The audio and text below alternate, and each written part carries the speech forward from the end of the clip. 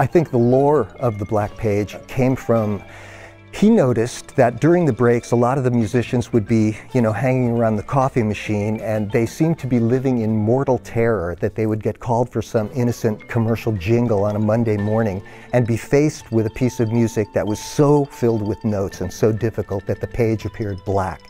So that was sort of the, the impetus and the inspiration for Frank writing his own Black Page. I just feel very lucky and grateful because it turned into something bigger than me. And uh, that's because of the greatness of the man who composed the music. I just happened to be there at the time. He wrote it for me. He wrote it for my drum kit and the instruments that I had.